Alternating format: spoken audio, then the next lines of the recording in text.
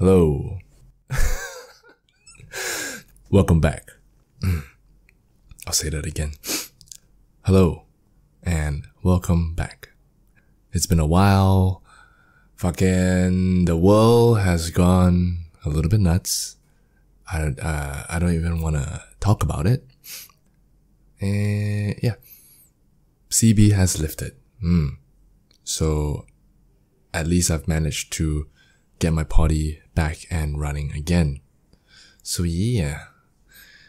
Uh, the time now is 7.37 and usually about 7, 8 p.m. ish, like the evening time is like the worst time to record my intros because because everybody is like coming home from work.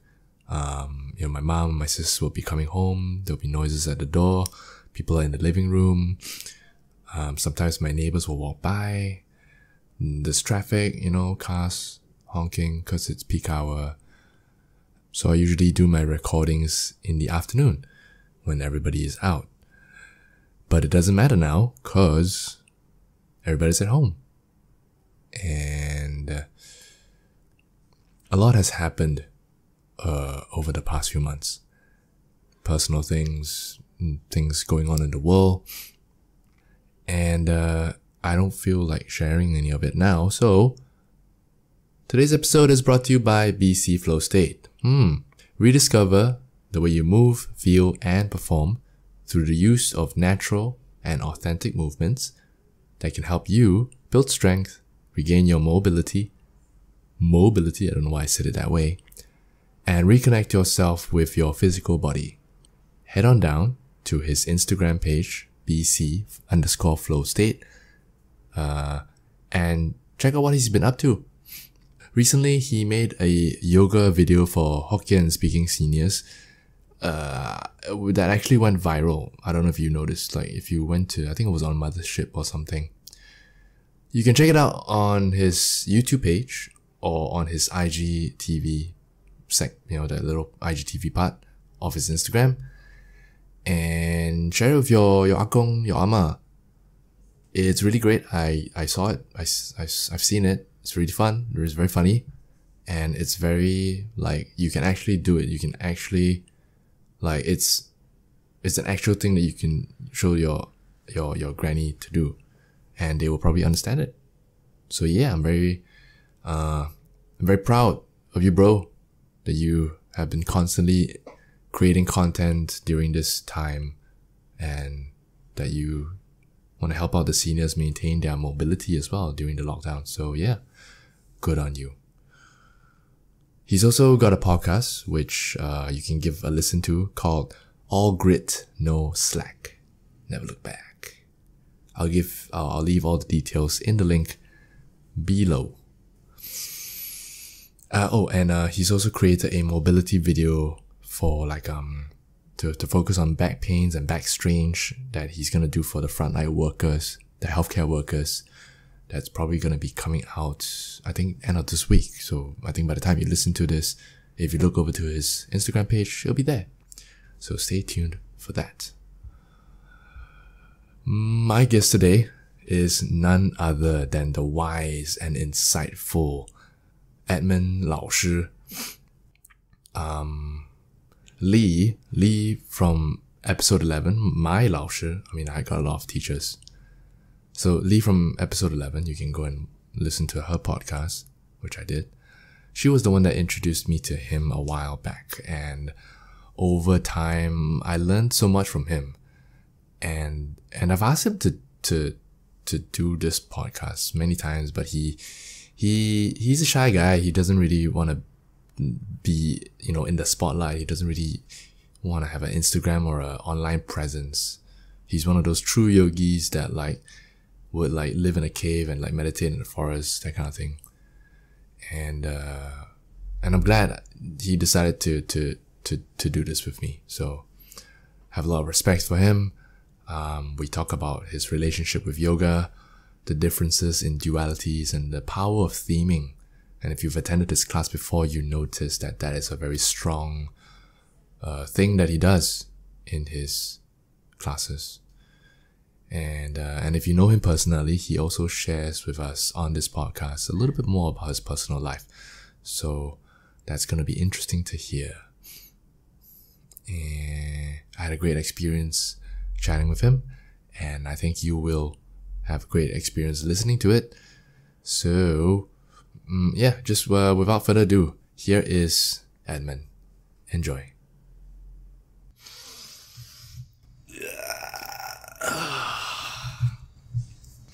It's been a while since I've done a poddy. It's been a while since a lot of us have gotten back to how things were, considering the nature of what's been happening in the world. Okay. So, we wanted to do a pod before this whole thing happened. Then it happened, that we didn't get the chance. But now we do, three months later. Welcome, Edmund, to the big comeback of my party as well. Uh, yeah. Okay. Thanks, Aaron, for inviting me to uh, your podcast session. Thank you, thank you. Okay. For context, you want to tell people a little bit about who you are? Okay. Uh, hi, everyone. Those who don't know me, my name is Edmund. Uh, I'm currently currently a teacher at Hom, coming to my one year teaching with the studio, and uh, pretty much been teaching for the past couple of years. Coming to about I ten years. it's been a long time. It's Yeah, been a long it's been a long time. ten years. Uh, well, for those of you who know me, I kind of like left my corporate job about two years back. Hmm. So this is pretty much a new journey in my life, even though teaching itself has been a couple of years, but this whole experience of a full-time teacher and what this actually is, not just a career, but really like something that I'm sharing day in, day out.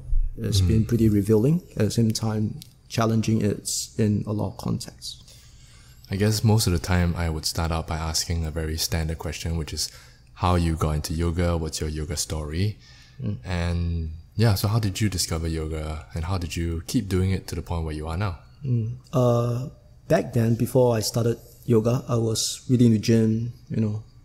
So the gym is really kind of like the counterbalance to all the uh, stress from a desk-bound job. I was also doing a lot of uh, weights, dragon boat. So yeah, so a friend mentioned you should do some stretching, and I say why not? So that's how I kind of like started yoga. This how old were you? Like That was in my. I remember I was thirty year old, thirty years old. Okay. So that's about twelve years back. right. Yeah, 12, 13 years back. So that was how I started. Not young, but not too old. I Yeah, guess. you were fit already lah during that time. I guess so, like with the running, with the dragon boat and stuff. Mm-hmm. Fit, but then again, not really optimal. Okay. Those of us who do the practice will kind of realize that you can be strong, but you're not necessarily well rounded in that sense, right? So that's how I kind of started on the mat.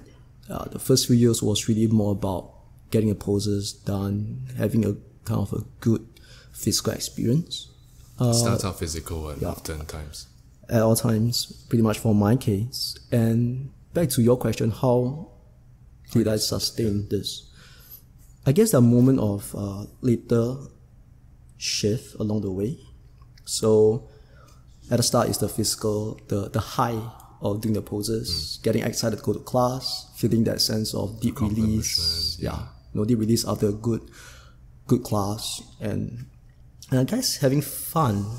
Nothing wrong with that too, like kind of try the poses, the inversion and stuff. So that was what got me started doing for the first two years. And as chance will have it, uh, the gym I was in had a teacher training. Yeah, so my teacher training was actually from a gym. So that was how I kind of like started teaching. How from from the point where you started practicing to the point where you decided to teach, how long was That that? was about two and a half years. so two and a half years into practice, then you decided you wanted to, to take the teacher training to teach with the intention to teach. Yes. Oh, okay. So back then, it's like you have this, I wouldn't say passion, but this this uh this thing you really enjoy.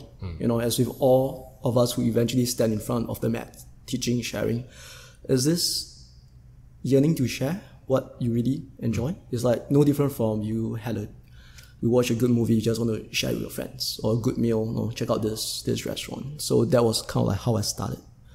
Uh, and what got me going on through the years was uh, the teachers I met along the way.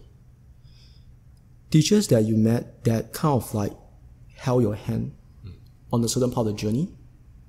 Okay, and then along the way they kind of like move on, not because you no longer go to class, but what they share with you will kind of like slowly shift away. And then another teacher comes in to kind of hold your hand. Yeah. So this is how like there are teachers along the way that kind of carry me, hold my hand along the way. Uh, for example, maybe at the start is the teachers you, teachers you go to to have a good practice, the asana. Then there are teachers along the way that came in to share on meditation. There are teachers along the way who basically, uh, in all aspect, you know, show you the seat of a teacher.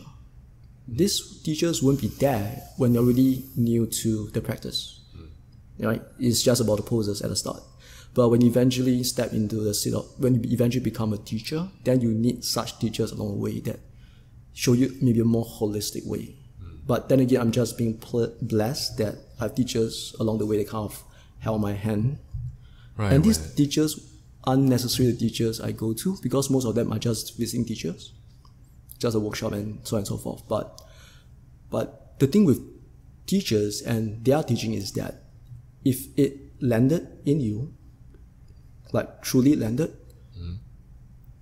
it will kind of stay with you. Maybe at that time not too obvious, but along the way, it will get more and more clear. when the student is ready, the teacher Exactly, yeah. So at that point, this was after your teacher training or after my teacher training and you know you're just very enthusiastic going for workshops after workshops learning uh, poses learning way to teach poses but to put in context if it's just really about that part of the yoga practice i guess i would still teach but the way i teach will be very different I'm sure the way that you taught now, the, the way that you're teaching now versus the times where you first started teaching, it's going to be very different and it's going to evolve over time. lah. yep Um, Okay. How how has that evolution unfolded or how has it taken place?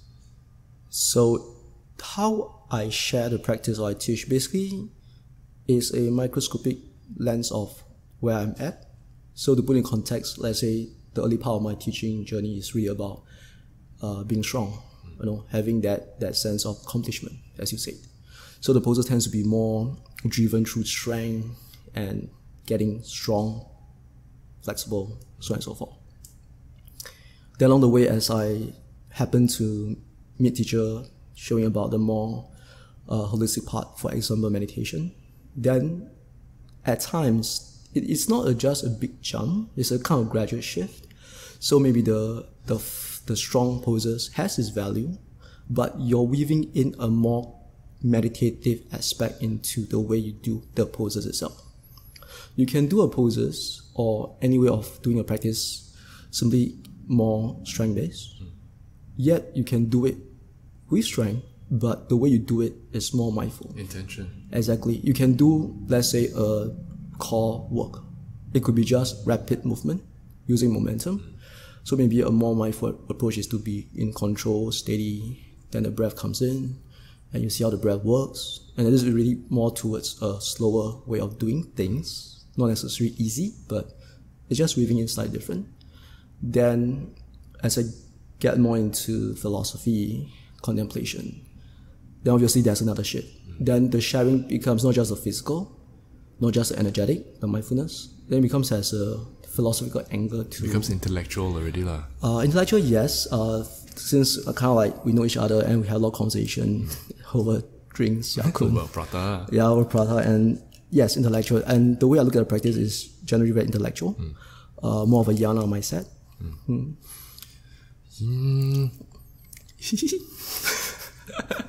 It's- it's- it's- I'm just very excited to be able to have this opportunity to talk to you because we've, we've I've asked you this many times before whether you wanted to come on the podcast and you were very hesitant at first, and understandably so. You are you are like a true yogi in the sense where you don't buy into the social media, you don't have a, a online presence and all this kind of thing. You just do your practice and you apply what you do on the mat, off the mat as well.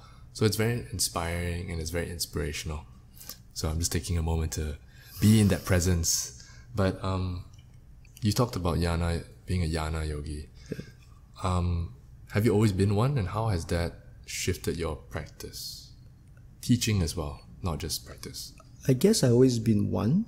So back then when I first started, like when we do a poses, the action while you're engaging, that kind of like has a very jnana angle to it. Elaborate. So let's say if I do this pose, why are certain people able to do it, yet I can't really manage it that well?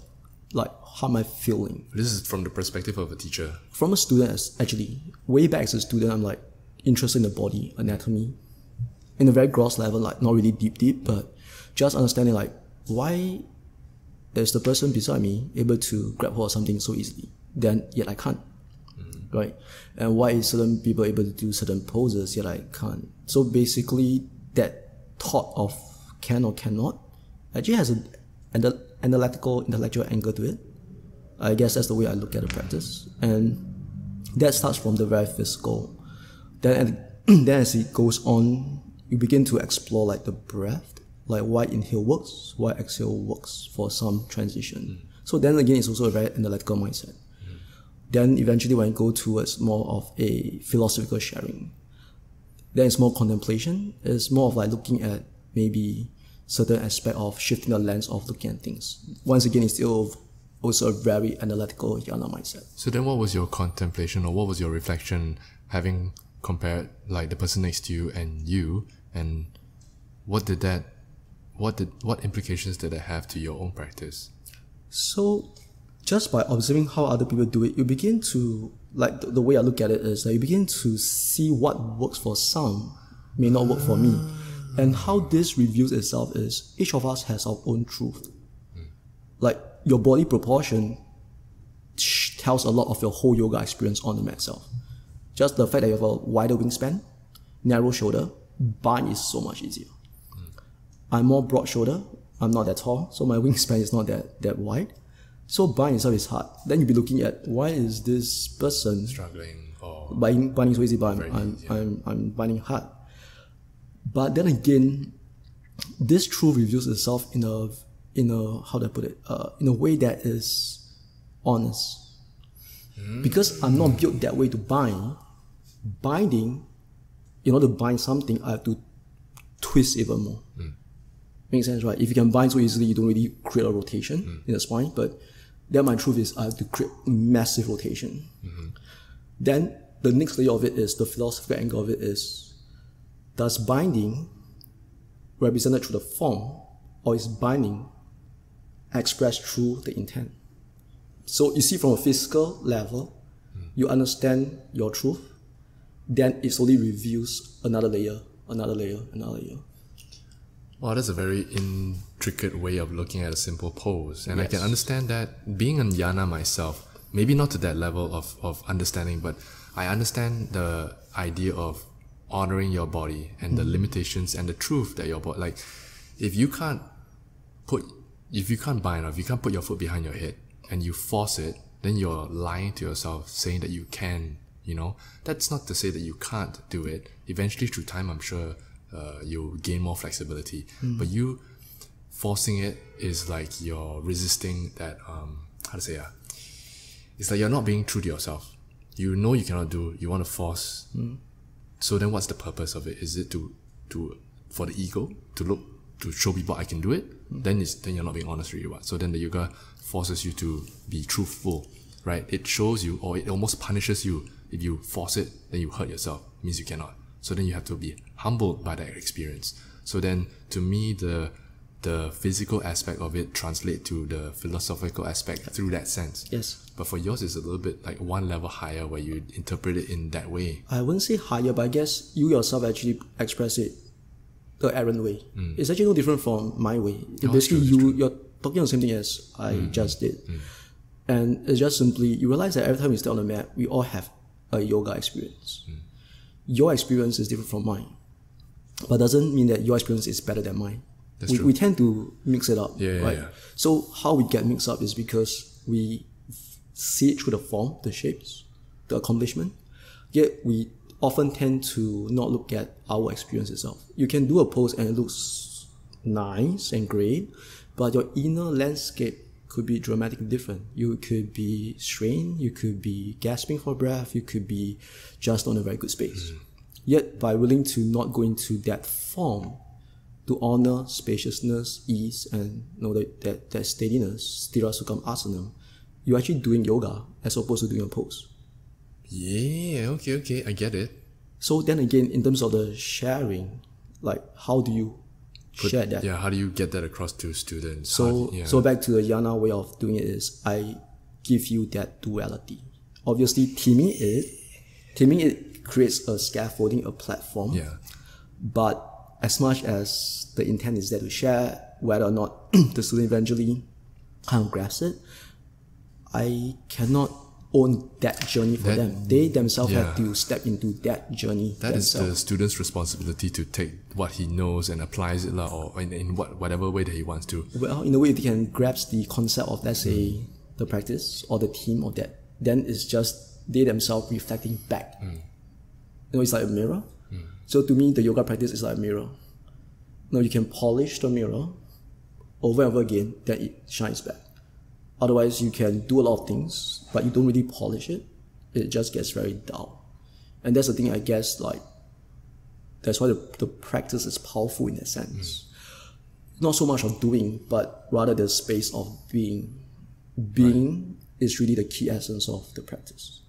So then, as a teacher, through teaching, all this is slowly revealed to you, as well as through the practice. Yeah. Right. The more you practice, the more you understand it, and then through teaching also, it comes from a different place. And as you progress in your in your teaching career, how how then does this sort of um, what was my question? Uh, so Long teaching, theme. Oh, theme, yes, theme. Mm-hmm. So you were like you you you theme a lot in class, almost all the time, I think, and your themes are very. Your you have your like through theming, you always have these a theme within the theme, and you mentioned about duality and truth, right? And we talked about this before over our prata session, where you said you always like to have these lessons, quote unquote lessons, weaved in your classes and you spoke about how a class say about the dualities of being of forward folding or or backbending and then the, the honoring the truth about whether you can or, or shouldn't do or to, to listen to your body at that time uh. how did you find these these values It pretty much boils down to my experience as a student on the mat in the class. So as one of my friends shared before, like your experience on the mat itself, I'm not I'm not talking about good class. I'm talking about a real honest practice, a practice that's shared by the teacher. You should ideally experience the high and low, the annoyance, the accomplishment, the frustration, and the ease. So that itself gives you that inner landscape experience. I'm just using my experience to share that out. So to put into context, uh, obviously these are my experience as a student in classes. I'm not very good at standing balance because I'm flat foot. Okay, so I don't balance that well. And I remember this particular class whereby I was in a standing balance and the teacher was holding for long. We are all students who have been in that situa- situation before where the standing leg is fatigued, there's a lot of letting exit, you know, and the teacher is just not letting us release. And my experience is that there's so much frustration, right? But why am I not exiting the pose? I'm being frustrated to hang on, to not be the first one to fall out. I am in a way in a balancing posture, but energetically, mentally, I'm actually in balance.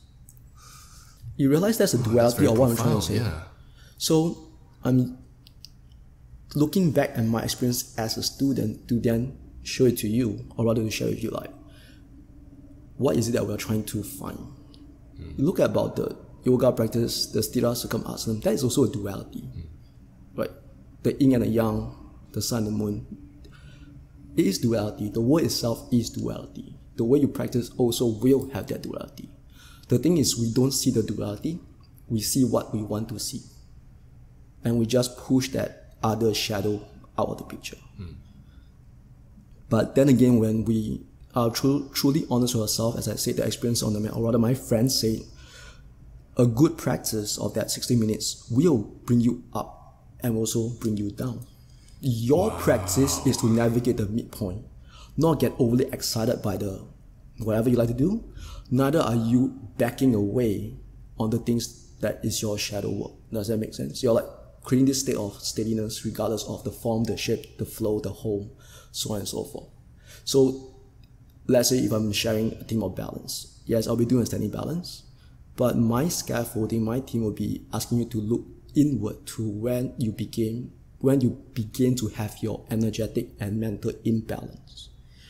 But to do that, I have to annoy you. I have to make you hold for long. Mm. Then you can really look back at when do I really let go with grace or holding on with frustration. That is the duality difference. Wow. How many people can we are teachers before, right? When you do standing balance, you see people when they fall off the post. We see frustration. Hmm. We all go through that because we don't want to be the one falling out. Hmm. Right? But if you can recognize that I can I have tried my best, right? Today is just not the day that I'm you know, balancing is very tricky. You hmm. can, you, I've shared this in class, you can be really good at unbalanced and pretty much nail it all the time. But there are days in standing balance that you just can't balance. Agree? Hmm. And what if you are in that day? Do you not honor that space you're in? And let's say if the class happened to be a standing balance class, just acknowledge that you try your best. Notice when the stirring comes up. You know that the teacher's gonna hold for long. Then you just let go. And go back to mountain. Recenter yourself. Why do you think people are so resistant with these dualities? Why do you think people is it a matter of the ego? I'm sure it is on some level. is. I don't want to xiasui, I don't want to, to fall down. Right? Yeah. I'm supposed to be damn good at this whatever. So, so you mentioned a very uh, important point. We go through life with ego. It's just a degree of where your ego is. The practice is actually mean, meant to strip that away bit by bit in whatever it's meant to strip away. So, I started practice without ego. This is my honest truth. You know, back in the days of the asana, the arm balance, and the fun part, I started the practice without ego because certain poses comes a bit easier to me because I do weight stuff, and I'm more open to hips. Anatomically, I'm uh, I'm just more blessed.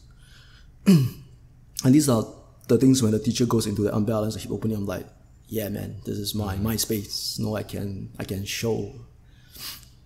I'll be the the egotistic guy doing one-legged crow while the class is barely struggling in crow. You know, it feel good. Uh, but then again, as I say, the practice landed, and you begin to realize that why you do certain thing in a class. What is that little tidbits of narration, narrative that arises when you decide to do something or decide not to do something? You can do something and it shows nothing. You cannot you cannot do something and it, shows, everything. Yeah. That is the duality of And it's so subtle. Exactly. It's very subtle. The thing is, you're trying to watch a pause in between when you decide to do something or not. Hmm. If you start inquiring yourself all over and over again on the mat, then you begin to see how that relationship you have with the yoga practice. You're speaking to yourself. Uh. in a way, you're trying to go, you're trying to see how you navigate your experience on the mat. Like, do I do this or do I not do this? You know, back to your point, like, I may get injury, you force, and it's the same thing. You are not maybe, this is not your truth, but because you're in a haste to accomplish, then you force, you hurt, then you just have to acknowledge that. No, but often than not, we begin to blame the practice. We blame the teacher Right. we have never really asked at ourselves, not to blame ourselves, but have I lost my way? It's, it's tricky because these are things that's not easy to share. It's hard to face so you It's don't yeah, you don't want to like no one wants to blame themselves. Oh, I, I fell out of it because you asked me to hold for five minutes, you know, that Mm-hmm. kind of thing. But you could have stopped at any time. You could have just rested while you hurt yourself. I mean, we as teachers always give students the space to you know, honor your truth, which is really what we want. But this is the point where I would at times share in class that when does a student become a practitioner? We are all students in a class of 10, 12, 15. You can go through a class of 60 minutes, the poses, the flow, the whole. When does that one student evolve and shift to become a practitioner? What you say is the point. You become responsible for your own action. The teacher is just facilitating a space for you to navigate your experience. Right? So, as you say, that five breath. When it's like back to why I say, like setting balance. You know, I really I would have when I'm doing that kind of sharing, I would really preface the class that we're gonna stand for long. We're gonna be in standing balance for long.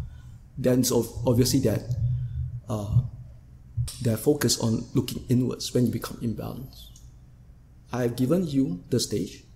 I've given you the space for you to navigate your experience. If end of the day you still you know, hold it and get frustrated, I cannot be as say is that the student has to be responsible for their own practice. The day that they decided to let go and return back to mountain with a smile on their face, they then shift from a student to become a practitioner. They become responsible for their own action on the mat, their own experience on the mat. What I'm hoping to share is to give that space for student to start that slow shift. It's hard because this kind of thing can you can share it, but once the class starts and the frustration comes in, it's not easy to return back to that. But if we, or rather in my case, if I as a teacher go through that as my experience, as a student, I'm getting a lot of my theming experience really from my space as a student. The challenge I have, the frustration I have, you know, I'm trying to bring it into into that that something space. that something that people can digest. Uh, you know, digest, hopefully think about. learn from, uh, yeah. Yeah, whether or not they get it, that practice or not, ultimately that's not what I'm here for. Hmm. I'm here to be that mirror, or the yoga be the mirror for you to reflect back. Interesting. Interesting. There's so many levels to this. There's, lo- there's so many levels as the practitioner, as the student. You're looking at it from so many different angles. And even say if I'm a teacher, but when I step into the shoes of a student when I when I practice instead of teach, there are times when I catch myself not honoring what I need to honor.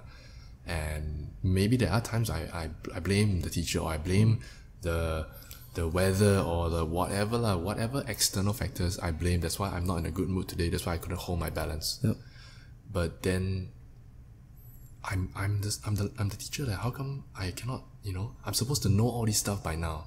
So then, coming from your own place, it's still a lot of things to slowly learn and to slowly uncover, and the practice reveals that to you through time. You know, it's very interesting. So back to what you mentioned, and once again, uh, like these are I'm just sharing quotes along the way from friends that I have conversation with. It's like we're all just human.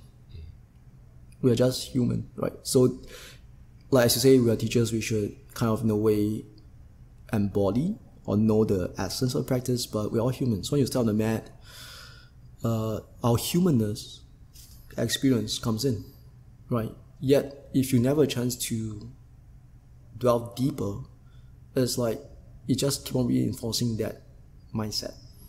So the practice is actually asking you to pause, press that pause button. Like you say, you'll be asking, why am I feeling this way? The day you decide to pause and ask yourself, maybe today you don't get it. You just play forward. Okay? And if you pause often enough, one day the pause may rewind. And one if you pause enough, maybe one day you don't even need to pause because you no longer get triggered so much. But you need to know how to pause first. Hmm. You need to know where to press the button for pause. We don't really see that button. Does that make sense? Yeah. So you need to pause to ask yourself why, what happens? Why am I feeling triggered? We are triggered in so many different ways. Hmm. Could be a habitual pattern, or the teacher I like, I don't like, the poses I like to do or don't like to do.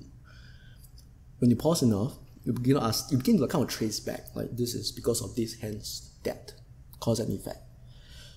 But you realize that this is interdependent, yet at the same time, if you kind of like unhook yourself from this trigger, not to say you will not be triggered, but maybe the whole when you when you step back and take a look at it from a different or a wider perspective. wider right? perspective, you know. And then if you keep on going back to that practice over and over again, I do honestly believe at a point in time, you it's a bit like meditation. I roughly know when that thing is going to come out, but you're able to not suppress it. The key is not suppression.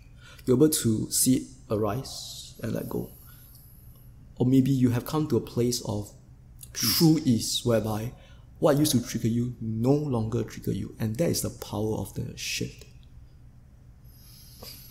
Hmm, I guess if you tr- if you relate it back to say the standing balance where you felt like you know a year ago you fall out of it you get frustrated but then through experience you fall out of it and you have a smile on your face and, and that no longer triggers you that simple analogy applied to off the mat can Yes. translate to so many other things as well Yes. somebody bumps into you you want to fight him a year later he bumps into you you're It's fine fine. it's Exactly. because whatever you know just Exactly. carry on with the day But you see, this hmm. kind of shift doesn't happen like. Overnight, yeah, You don't do a, years, you don't do an awesome class and then say you become that person. Hmm.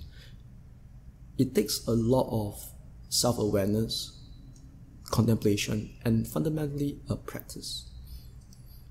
Right. Why do we call this a practice? practice in the sense where it's done every day, little by over little. and over again. Mm. And the thing is, with a consistent practice, you realize that not it, it- it's not incremental. There are days where you kind of fall off, mm. but this is what a true, real practice is. Because you practice every day, you know when you fall off, so that can go back again. It's different when you practice like once in a blue moon because you don't see that consistency of how day to day things are slowly changing. That's true, and and I think that that um that practice that cons- the the being able to see the practice is in terms of say you're able to see it through flexibility. Today I can touch my toes. yes. Uh, the yesterday I couldn't. Today, you know, one month later I can. Yes. And that is like a very easy. Like you can see that progression. Yep. It's encouraging, and it keeps you wanting to come back. Mm. There are times also when you are tired, and then what you could do today, you couldn't do tomorrow, and that's also part of the practice where it shows you like, yeah, you can do your handstands. Good for you. You're very strong. You're very tight. But then maybe today, for some reason, you can't find your balance. It's not a matter of strength anymore, right? Then can you still be okay with it, right? And it humbles you again. Yes. Yeah.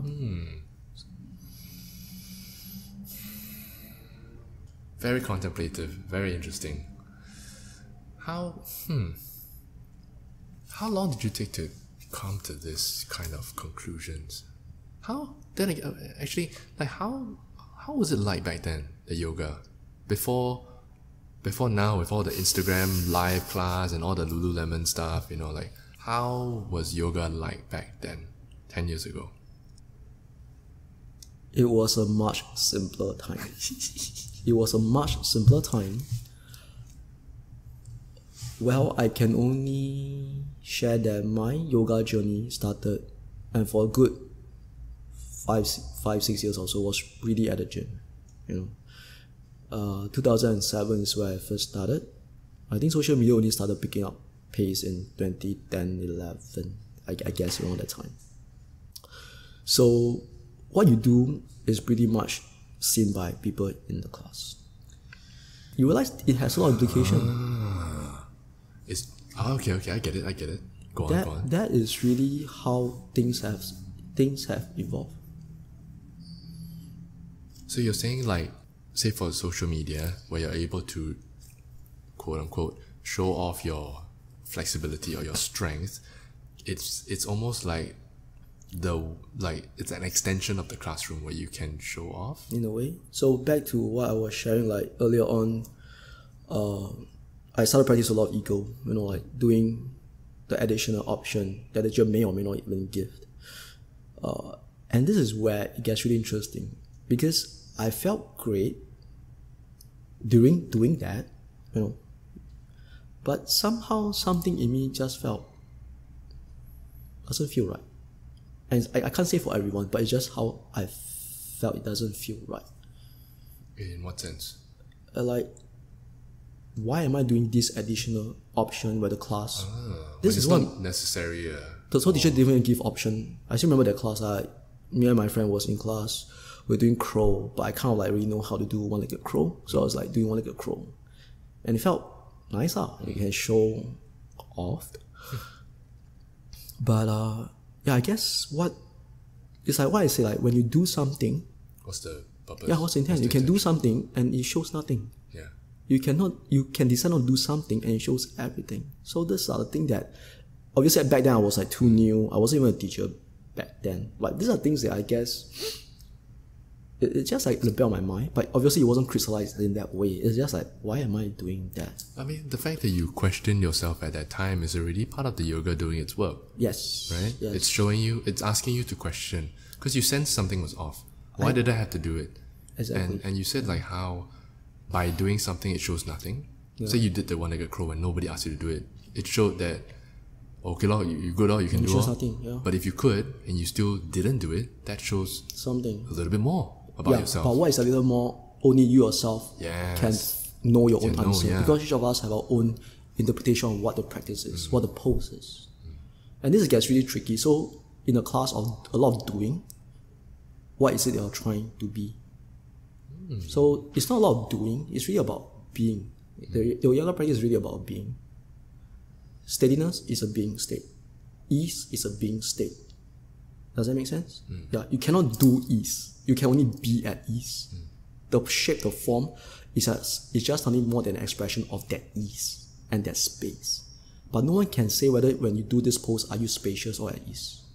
That's just an illusion. wow. So it's not doing, it's really about being.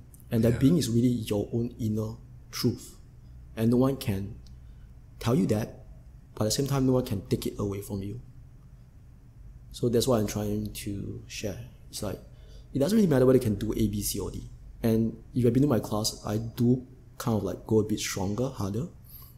But this is what I meant by that duality. If I don't push you into one area, you have never chance to ask yourself, why do I go so deep? So if I go into a really deep lunge, it's one thing to do it for two, three breaths in a flow class. If I do it like hold it longer, then you'll be annoyed with me because I make you hold longer. Hmm. But I never ask you go so deep. Even though I say going deeper, deeper and deeper. You, you see what I'm trying to say? I'm giving you that duality. I'm asking I'm giving you an option to go deeper. But the thing is the depth is you define your practice. This is so abstract. It's and very it's, abstract, It's yeah. abstract, I get it. And it's hard to convey something like that in a 60 minute class. But that's very interesting because then that is the student's responsibility to see what that is. Whether it's a matter of ego, I want to hold because, you know, or maybe it's a whatever, lah, whatever the reason. And also, like what you said about ease and stability and, and of that being a state of being, sometimes when you are stable, hmm. that helps the next person be stable as well. If if you know, like if I look at the, my neighbor and hmm. And he or she is very calm in that pose, it helps me feel calm. If the person next to me is like gonna toe already, ah, I also feel like it's like, gonna toe already. Yeah. So that is almost infectious, and it's it translates. Um, like it can it can be spread lah, you know. So then your responsibility as the student or as the practitioner might be to help that person next to you. If the person is a beginner struggling in downward dog or whatever, if you lower the knees down, he will see, hey, that guy strong eh, but he lowered the knees eh. Maybe I can lower the knees as well. Not so I don't feel so bad anymore. You know, you might it might be a different kind of responsibility. I think what you say makes sense, right? Because there's a lot of uh, collective energy in the class. Uh, maybe from my perspective is that when I'm the mat as a student, I can only be responsible for my own practice. That's true as well. So back to like, do I lower the knee or not? Depends on what I want to What you want to do embrace. lah, yeah. Exactly. It really not. I mean, I, all I can say is that I wouldn't like to think that what I do hopefully doesn't affect the other person because I hope that the other mad neighbor, fellow practitioner, take care of their own practice. Mm. I guess that is really otherwise is so two things. There's a collective energy, yes. Like if the class is steady. So one good example is someone comes to your class is very mindful. You begin to see the people around them starts to move a bit mm. slower. Mm. So that's the collective energy, right? Uh, and that's powerful, right? That's powerful. But eventually, like the debt, the options, uh, you kind of have to navigate your own experience or be responsible for your own experience.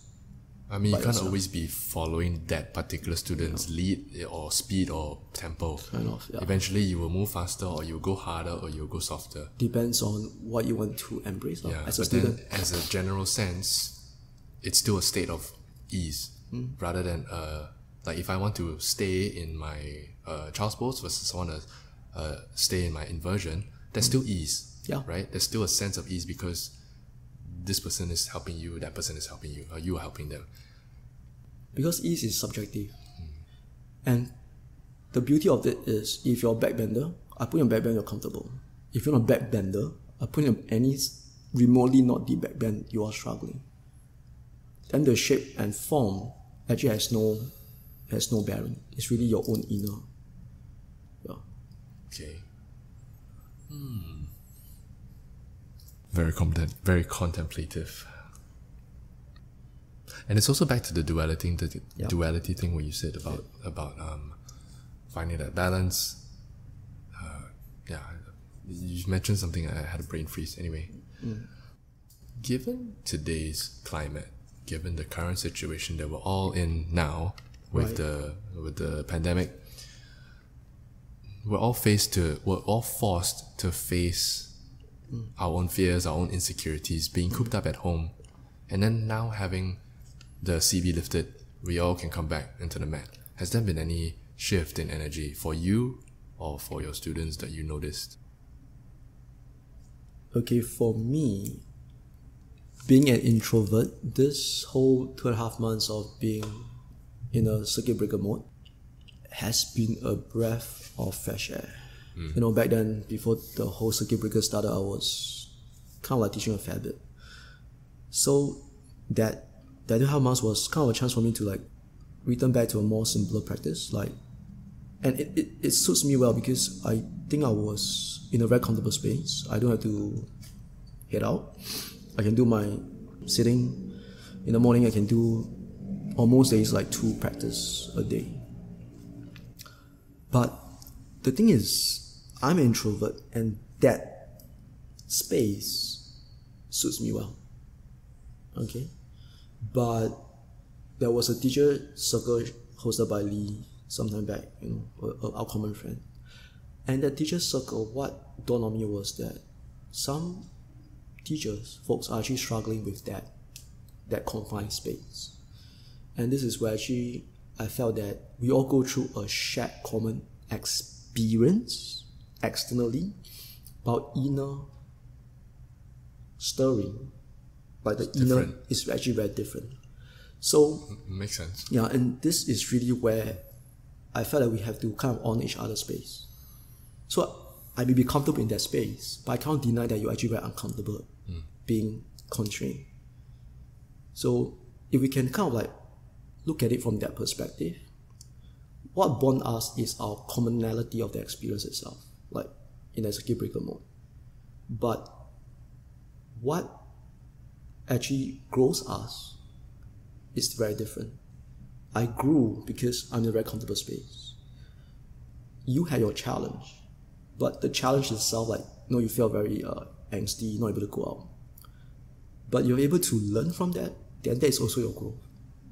So I'm right, but doesn't mean you're wrong. It's, It's, it's like the backbender in a backbend class. Comfortable. But then the, the non backbender in the other, it's uncomfortable. But it's the same thing. Like, It's just see what you're used to. lor. what you're used to and and I guess a lot of time that our experience of something that's great kind of validate us. Yeah.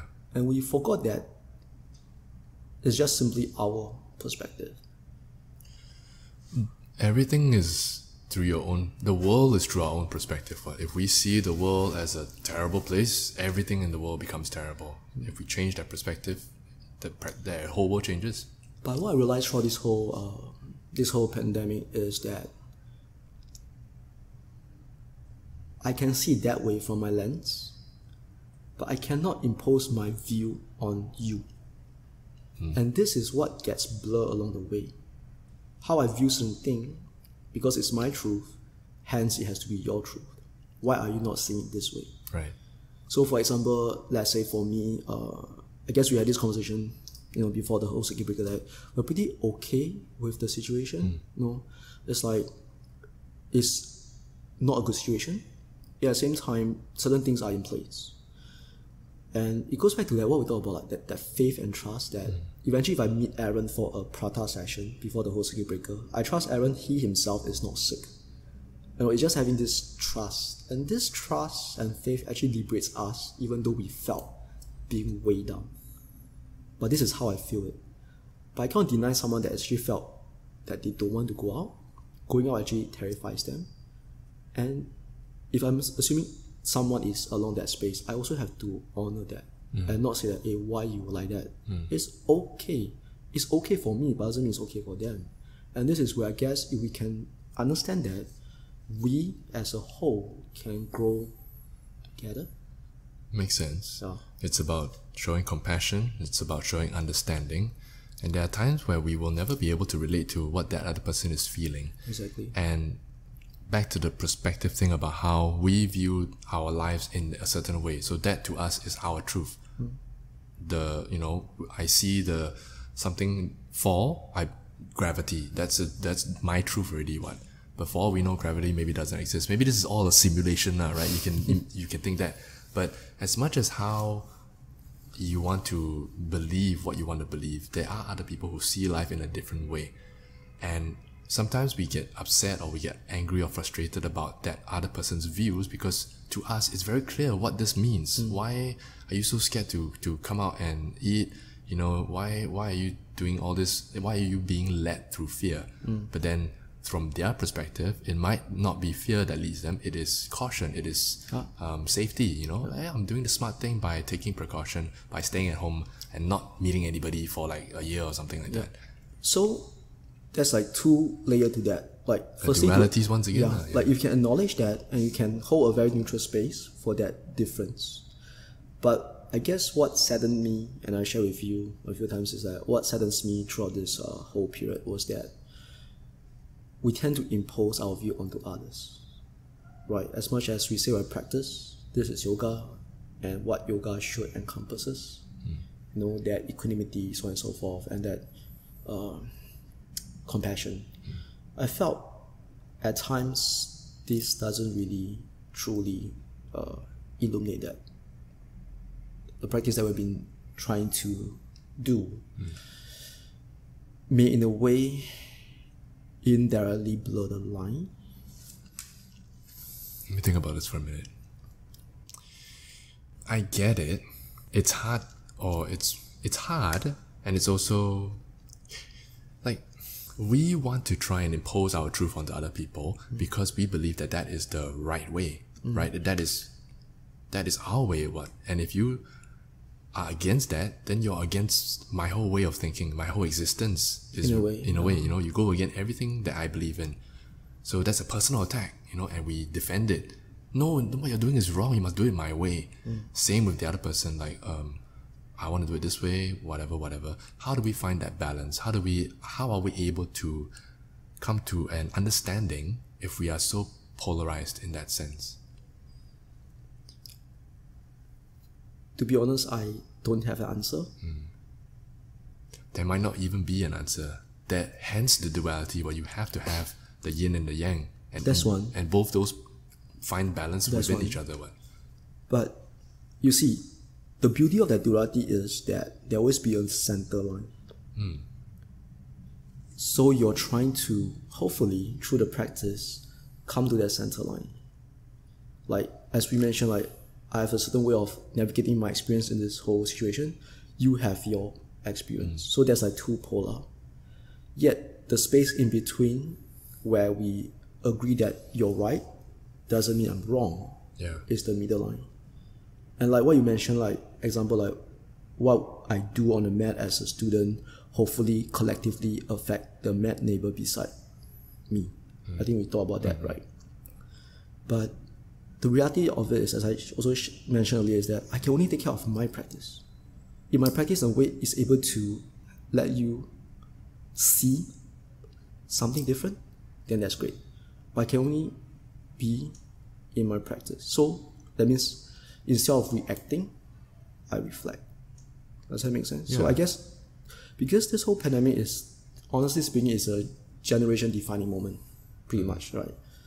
Globally, we go through this in a way, obviously different uh, way of handling it, but but this is where it gets tricky because how we want to, in a way, impose. Yeah, uh, we can, you know, we can have this long conversation, but end of the day is, I truly believe that there will be a place in between where we can be authentic, honest, holding a good neutral space, and to just simply affirm each other and their differences. We tend to affirm people who agree with us. How often do we affirm other people's differences? That's true. Hmm. That is true. Because if I'm comfortable in my practice and what I truly believe in, It's easy. What? is yeah, it's very yeah. easy. But the thing is, the, the, the tricky part is like what we do on the map, we get validated, affirmed, and and it gets so clear that this is who we are and how we view things. Hmm. Like what you say is like if people view it otherwise, we felt we felt threatened. Threatened. Yeah. But that's just a very gross level of the whole practice. The deeper level is actually the dissolution of all that. You glimpse your truth, okay? It affirms you, but we don't often realize that other people also glimpse their truth. Hmm. You, you see, that's a, that's a part that we tend to forget. So if you have been validated so much by your truth, how can you deny that other people has also seen their truth, although it's different from yours?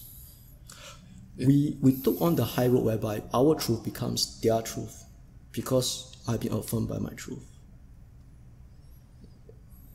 Is there a right or a wrong? You know? I really don't know. This is really a philosophical question to be debated, but the way I, I have learned through my uh, practice over the years is that uh, it used to really bug me that why you don't get why you don't get me. At times, like the humanness experience do arise, like why don't you get me? But as I say, if you pause enough, often enough, when the why don't you get me arises, you can actually see and let go and become the next narratives that why don't you get me? But I also do get you. So we are hmm. actually okay. We're okay, but we're not okay, lah. Kind of. Yeah, but it's really hard, you see. It's really, really hard currently in you know, as we mentioned, like this whole social media thing is really hmm. it's powerful. At the same time, it's powerful maybe in a not so good way. Hmm. Because it becomes an echo chamber.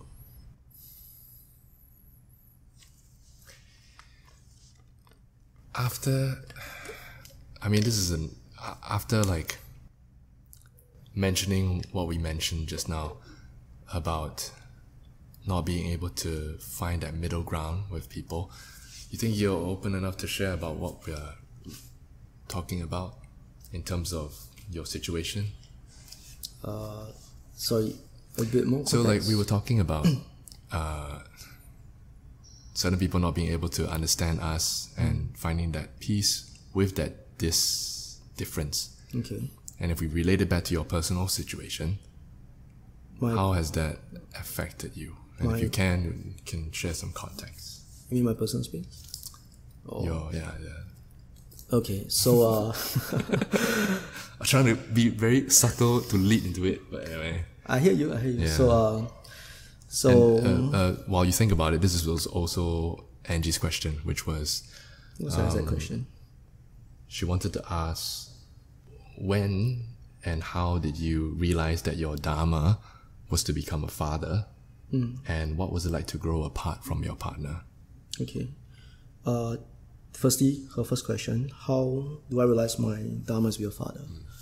So as far as I can remember, I have always wanted to be a father. Okay, it's just simply this this thought that I want. Okay. But underneath that thought is this feeling of being unsatisfied. being being a father No, no. So no. So you think about it, right? I like. I want to be a father. Okay, that's just like I want to be a father because of like forming a family unit, for example. But underneath that sentence for me is this going through life in a way feeling unsatisfied. Okay, not not because like you don't have a job, you're struggling. It's just, just like things are missing. fine. These things are fine. You know, uh, you know, I was together with my ex-wife, and you know, we, we go through life. Job is okay. Uh, I mean, good good salary, good pay. And we have a yearly or twice a year traveling and stuff. But the moment you start to sit with yourself, like truly honest with yourself, there's this sense of being unsatisfied, and I cannot put a word to it. Hmm. It's just like not complete. Hmm. Okay. So when my daughter was born, and yes, I am very, very, very, very happy that I became a father. But what truly illuminated the Dharma for me was I felt complete. I felt satisfied. Hmm. It's like the book by Stephen Cope, uh, whereby he mentioned that if you have glimpsed your Dharma and to not fulfill your Dharma, it will destroy you. Oh, that's intense. That's intense, but this is really what the Dharma is. It's like you might have a certain aspiration when you're young to be a painter, for example, and whatever life choices you made can't move you away from that, right? But let's say down the road when life takes on a shift and you start to pick up the that paintbrush and start painting, and I was like, maybe you felt this overwhelming fulfillment. And I was like you really glimpse that back that dharma, and like to not pursue that in a way, it's it's at you. Yeah. You know? So that book, um, uh, yeah, it's, it's re- pretty powerful. Like he in that book, he showcased a lot of uh, well-known figure, you know, and how like their dharma it has been shown so clear since they are young. And yeah, it's, it's pretty hard. It's a pretty hard concept. It's like even I don't know that. It's very intuitive lah, for you to understand. And what was powerful was that I don't even know that. I just know that I'm happy. And then I have a conversation with another student after a class. And I can't remember what the conversation was, but without even thinking or having having had that thought ever, I just told that student, which is my friend, that my Dharma is your father. And just came out from the blue. Like mm-hmm. My inner consciousness was putting out the words. It's not even like thinking about you know. It's like yeah i'm happy to be a father you know. But that's one thing like i just want to be clear like the dharma of being a father is very different from being a good father. I guess you need to see a difference. Some parents could be awesome parents but what sparks them could be not being a parent hmm. it's, it's something that's very very intricate and only yourself can kind of know like what makes you feel complete? Like if let's say aaron tomorrow you're gonna die do you live with sadness sense of regret or you live this world with a sense of being complete? Complete in the sense that you have done your bucket list but at a very internal level yeah, you felt you're complete. And this is something that we don't really ask ourselves often. Hmm. enough. If you can ask yourself that question, and you're able to find that question or the answer to that question, what arises may truly be your Dharma. Because once you hmm. com- well, once you complete, once you are able to step into that space, a part of you actually feels I'm okay. Hmm. Are there multiple dharmas? Yes, possibly. Okay. Uh, Interesting. And okay. like if Aaron you to now my turn to interview if you were eh. to leave the world hmm. in one week's time would you live with grace or would you live with sense some sense of resentment and if there's a some sense of resentment what is it you're unhappy about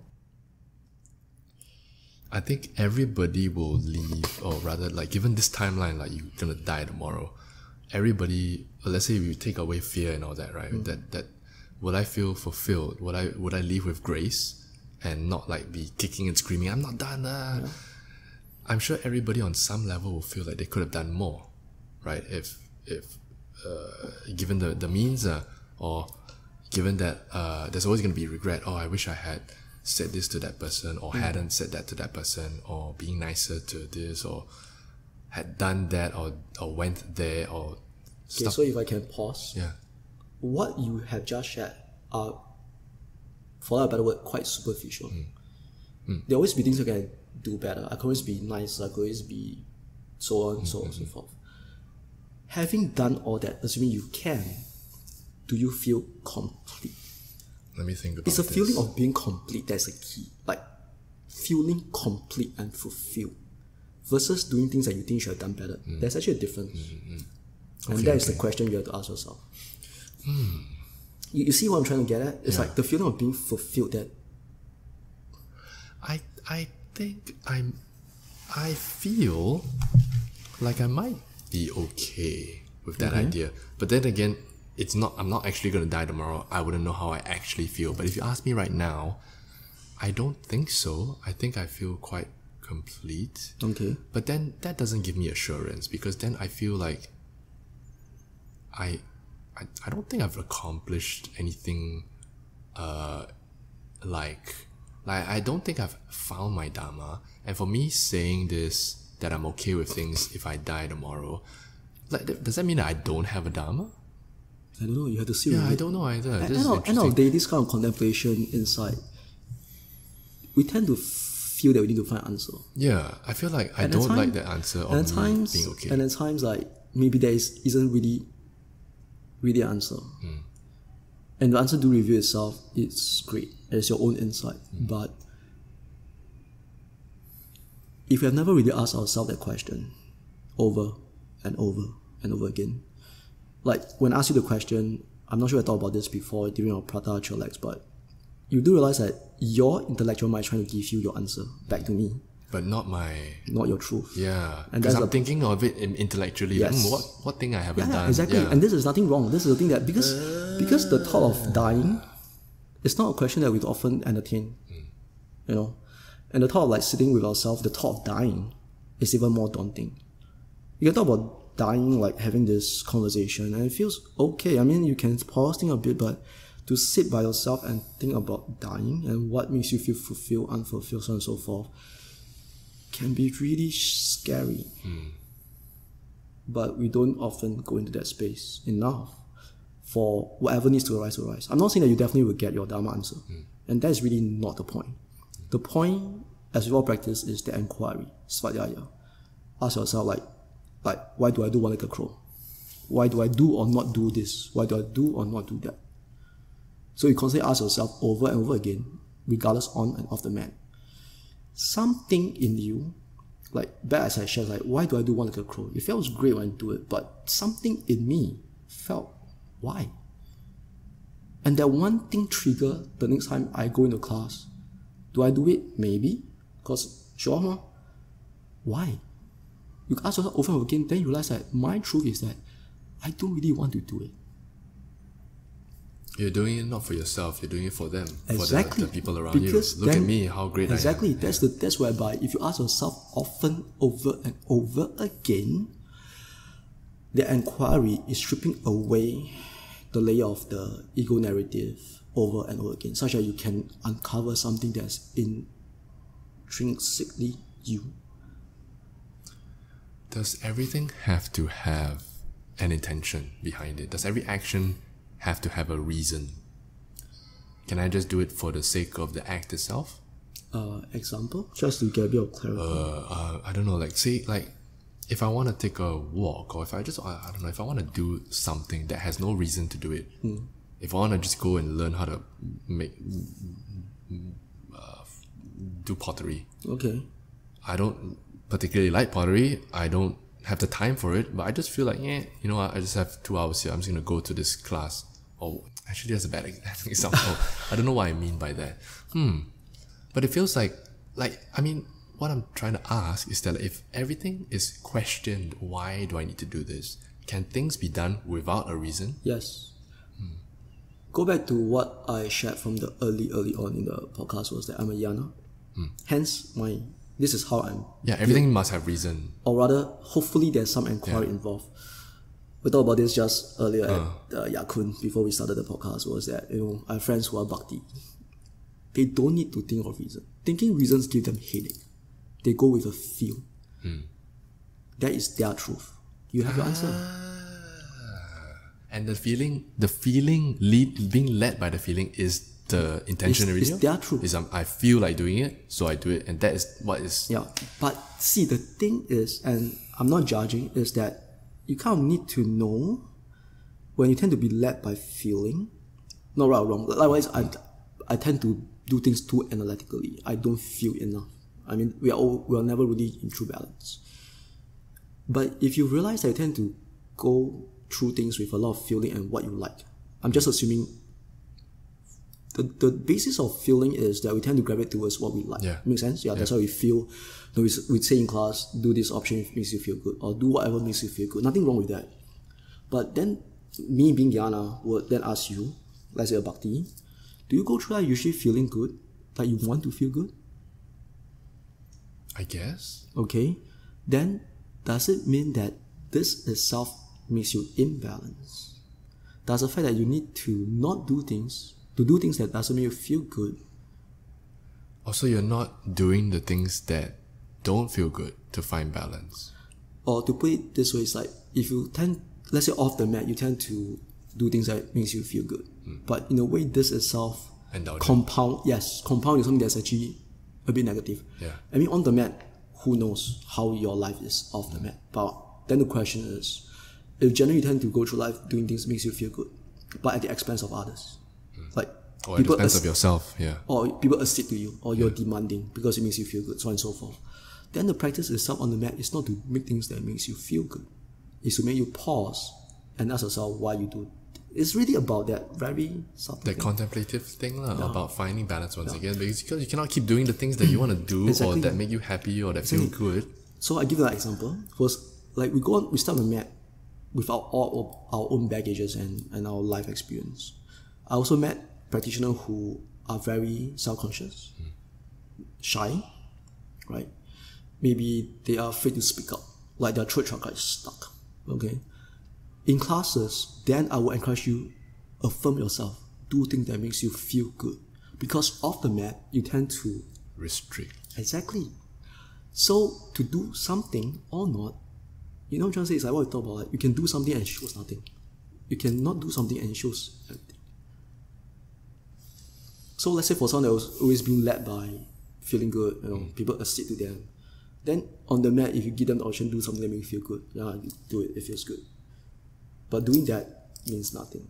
But if you can frame it in that practice, that team, you know, I'm not sure how you can frame it, but to pause and decide that I decide not to do things that makes me feel good. I decide to step into my shadow. By not doing what makes you feel good, it shows everything. It's complex. I mean, it's, it's really complex. Uh, yeah. Does that fry your brain? You look like it you're does. It's, I'm, I'm, I'm, I'm re- reflecting on what we talked about, what you we've said, and I'm reflecting it on my own personal experiences and, and seeing if it makes sense at that point of time during my life, or whether I could have done this in a certain way, or whether I could have ref- contemplated a different. Uh, you know, it's it's it's always very contemplative, and I like to, I like to reflect on all these things. Hmm. Um. But I mean, just want to clarify that in no way my sharing is meant to say this is better than the other. It's just simply No, it's not. Yeah, going back to that intent, as you say, like the contemplation of when you do something or not, option or not, what is the underlying narrative? Yes, it's just about asking yourself like what what like awareness lah, like hmm, what is this? You In know, all context. uh, you want to talk about soul connection? Uh, yeah. So back to uh, Angie. Sorry. Second question was uh, He's gonna take out his watch. It's annoying. Yeah. keep hearing the click click click. okay. soul connection, and this is also what we talked about yesterday at Ya Kun. So fucking love Ya Kun. Yeah. So, uh, in my personal space, I uh, kind of separated with my wife uh, about coming sometime late last year. So, uh, it was not easy. Uh, we've been together for literally more than half my life. I knew her when I was 18 years old. I'm now 43. So you go and do the math. Yeah. But what dawned on me was uh, when we kind of know each other, we were still young. We were trying to find our own identity. And I guess over the years we grow. Me with my yoga and obviously her with her own life. But what I learned throughout this whole uh, journey is that often at times the partner we have is actually a companionship, which we talked about yesterday. And what is this companionship?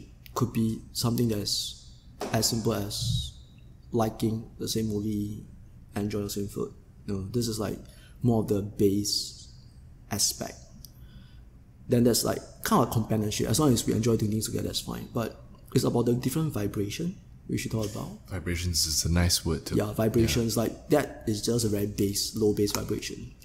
The next vibration is basically about how you go through, well, as I would say, day to day life, like your own ethics and stuff. You know, are you truthful? Are you honest? Are you generally more resentful? So on and so forth. That's our second vibration. Mm. We can be companion on the base level, but the next level itself, if it doesn't align, it, it's going to create a lot of dissonance. Okay? Then the next higher level is like basically the philosophy of life itself. Obvi- Obviously, this adds on uh, the, the core values and the ethics itself adds on to the philosophy. Well, general philosophy of how you approach life. So I guess uh, my journey, my ex-wife was that we knew each other when we were young. We were trying to find our own identity, and it was great. You know, it was companionship. We enjoyed certain things doing together, but yoga happened to me, I guess, for lack of better words. Uh, we talk about life Yoga before yoga. ruining your life, Yeah, yes. yoga ruining your life. Quote Richard Freeman. Hmm. Okay, and yeah, not a bad thing. Like, if you actually ask yourself before you started, before you started the practice, I'm not thinking about before you started doing yoga. Yoga is just asana on the mat as of now. Before you actually had a practice, a yoga practice, contemplation, insight, on and off the mat. How were we back then? Are we generally more contracting? And for me, was I tend to be a bit more contracting. I was really unhappy. I'm a really whiny person back then. I whine everything.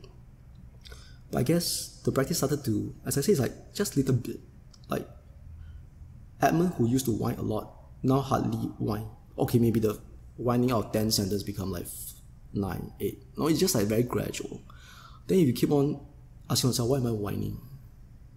Because sometimes whining is just to express that unsatisfaction. So from that whining become not so much whining, and eventually you don't even feel the need to whine. This is what I meant by keep on pausing over and over again until you realize that you don't even need to pause. Whining has no value to me anymore because on the inner level you felt okay with a lot of things. So this is how yoga shifted. So from very base level companionship, kind of like the, the, the next vibration has started to create dissonance. And then this is where it gets really interesting because of that misalignment. Uh, nothing wrong. Don't, don't get me Interesting is a very kind way to yeah, but don't get me wrong. I mean, every aspect of it is a learning experience, journey. You know, is is challenge and so on and so forth. I mean, we all grow from challenge, right? But I guess it come to a point whereby, on a very higher vibration, uh, things are not aligned even remotely, and it wasn't really a big lead up to that separation it wasn't like having argument and so on and so forth. It's just that one incident where it dawned on me that things is as it is, like seeing reality for what it is, like really stripping away all the the fluff and the filter, and seeing the reality for what it is. So that one episode was actually got annoyed with my daughter, and I just scolded her what came out from me was actually words directed at my ex-wife. It's like you do something, you get caught in the emotion, and sometimes it's very hard to unhook yourself. But the practice is that you are able to look back and, gosh, there's so much suffering. Suffering not like big tragedy. I often say that this these are actually ordinary suffering. You go through life being unhappy. And it doesn't even you don't even realize you're unhappy until things trigger and then things overspill. So I realized that, gosh, like this is really a lot of ordinary suffering. And I'm really blessed to have friends around me that I was able to share this and hold a good space. And there's always this quote that you know we talk about like, do not mistake the pause in between suffering as happiness. Like the companionship, the travel, all that are happy moments. But deep down underlying is just ordinary suffering. So we tend to view that moment of pause as happiness, but actually analyze all suffering. So I anyway, so it kind of dawned on me. Uh, me and my ex-wife have a very good, honest chat about it, and it's just realizing that no, we have actually grown apart. Not recently; it's really four years, and it's not a big thing. It's not like I wake up next day. Yeah, it's It's not like I wake up next day, I all mala beads and one and so on and so forth. It's just like really small things. Uh, not easy. So uh, there are things that I I was really really going back to the practice. Like, gosh, that period was so challenging. I couldn't even imagine how I survived that, but the practice kind of hold me steady most of the times. I mean, at times I actually will flay, you know. Uh, but the practice actually hold me, friends around me hold me steady, and yeah, I think I'm thankful that the parting was amicable. No, it was no animosity and things. I think that is what I can truly be grateful for. It was a close, a, a gentle close of the book. Uh, As the chapter ended. as much as it can be gentle, because on the way that, the yeah, circumstances, uh, yeah. yeah. and yeah, and I think along the way I'm still trying to navigate this new space I'm in. You know, being uh, Being with her for almost half your, more than half your life. yeah, because like 18, I'm 43. You do the math. Yeah. I knew her when I was 18. I'm now 43. so like 18 times two yeah. is 36. I got another seven years to add on. Yeah. Wow. Yeah, but but yeah, like do not mistake a pause in between suffering as happiness. Hmm. How how important is soul connection? Remember we talked about another different topic like things in isolation doesn't make sense. But when things look back, the line, the curve, the dots Tracing back the dots. actually uh, becomes a picture, like a whole tapestry. So this thing about soul connection, soul soulmates, uh, it's a very kind of thing that I heard about. I don't really get too excited about it. But uh, a book that my friend gave me for my birthday, maybe about two or three years back, uh, by Stephen Cook also. Stephen Cook. Cook. Uh, I basically read all his books. Uh, it's called Soul Friends. So he goes through like what are the potential six types of soul friend you could have in your lifetime. Six. Six. Uh, off the top of my head, like container, noble adversary, adversary, no partnership, twinship, so on and so forth. I mean, it's a bit hazy now, but it gives me some idea of what actually is a soul friend.